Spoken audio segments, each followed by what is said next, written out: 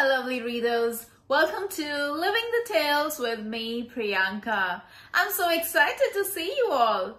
Are you ready for today's story? So the story is about a giraffe who would love to join in with other animals at the jungle dance. But everybody knows that giraffes can't dance. Or can they? Let's find out as we read Giraffes Can't Dance. If you have a copy of this book, please go get it so you can read along with me.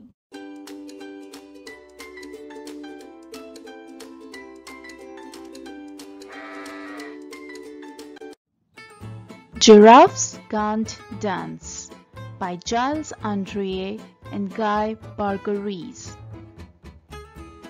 Gerald was a tall giraffe whose neck was long and slim, but his knees were awfully bendy and his legs were rather thin. He was very good at standing still and munching shoots of trees, but when he tried to run around, he buckled at the knees. Now, every year in Africa, they hold the jungle dance, where every single animal turns up to skip and prance. And this year, when the day arrived, poor Gerald felt so sad because when it came to dancing, he was really very bad. The Raphog started waltzing and the rhinos rock and rolled. The lions danced a tango which was elegant and bold.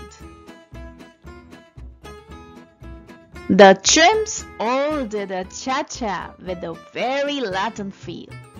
And eight baboons then teamed up for a splendid Scottish reel. Gerald swallowed bravely as he walked towards the floor, but the lions saw him coming and they soon began to roar. Hey, look at clumsy Gerald! The animals all laughed.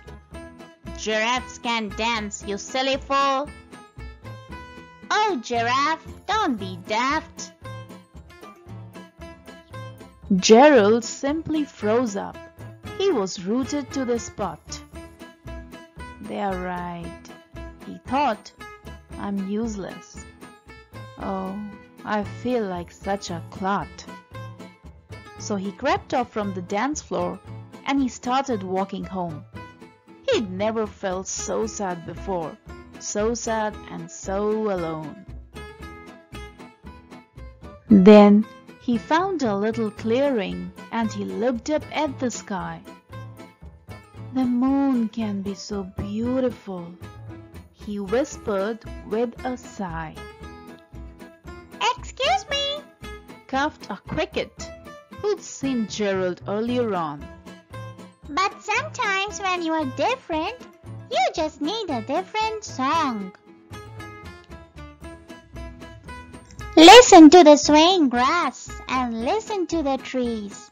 To me, the sweetest music is those branches in the breeze. So imagine that the lovely moon is playing just for you.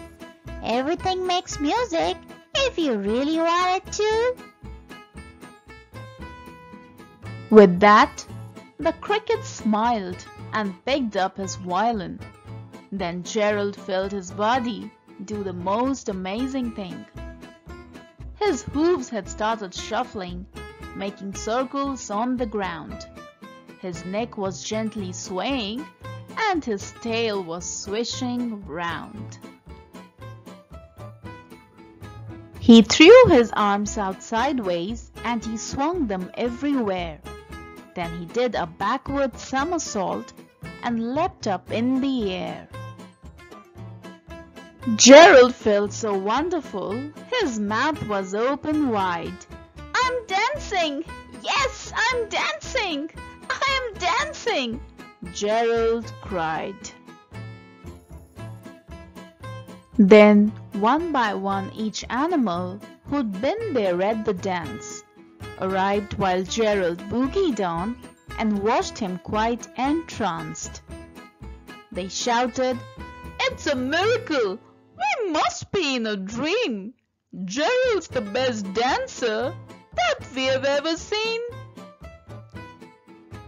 How is it you can dance like that? Please, Gerald, tell us how.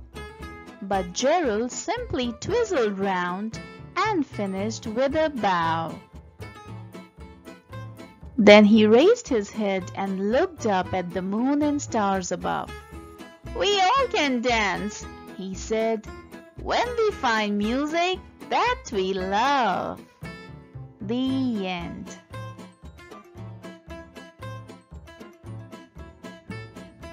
Thank you so much for watching and reading along with me.